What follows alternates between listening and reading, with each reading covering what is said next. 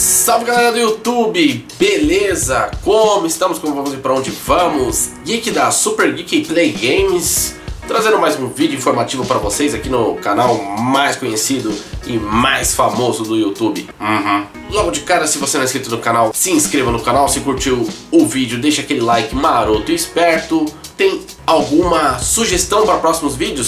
Escreve aí nos comentários o que você gostaria de ver aqui no canal, que vídeos eu poderia fazer para trazer para você. E se você tá carente também, deixa aí um comentário, tá bom?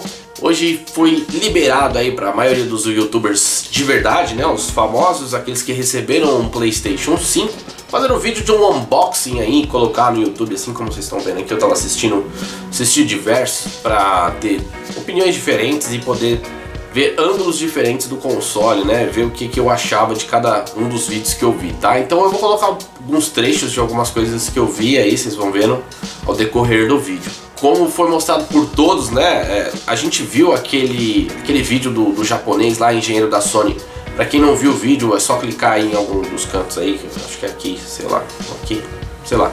E aí a gente, eu acabei até brincando, fazendo uma brincadeira, falando, não, cara, eu acho que o console é grande sim, mas o japonês que estavam fazendo lá a desmontagem, o engenheiro, ele não era um cara muito alto, né? Um cara muito forte, alto, assim, tipo Latrell, Glisner.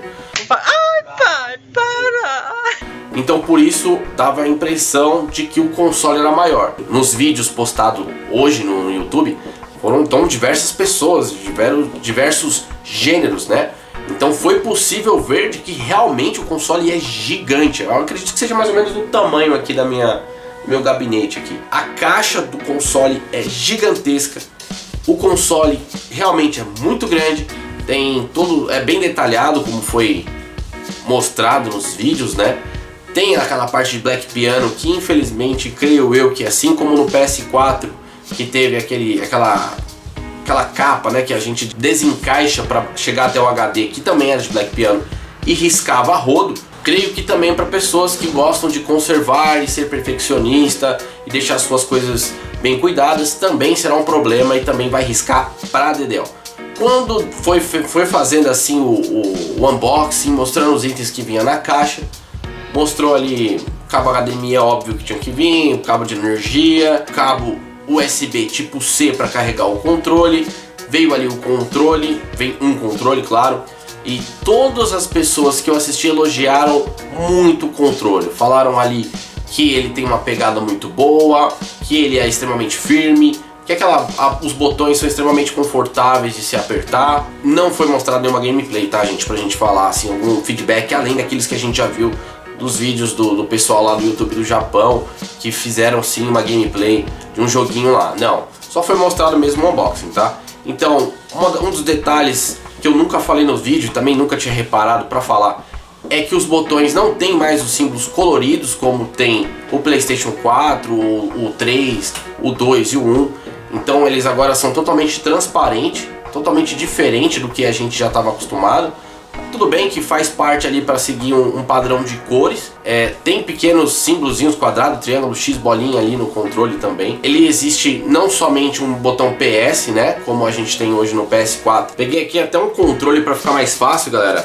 Então não terá mais, não será mais colorido como é, né? Será totalmente branco e além do botão PS aqui, ele vai ter um PS, vai ser diferenciado e vai ter outro botão aqui embaixo. Creio eu que seja para controlar ali o, o, microfone, colocar no mudo, alguma coisa assim. Em um dos unboxings também foi mostrado ali um, um headset que é bem grande, tipo o meu, tem um design bem futurista, não sei a qualidade de som, espero que seja boa. Também não sei a qualidade da almofadinha que fica ali no, no, no, na orelha, né, pra não machucar. Não sei se vai desbotar igual as outras, vai ser de couro ou de um material ruim ou de um material de, mais, de maior qualidade para que não fique desbotando igual os outros já aconteceram no PS4.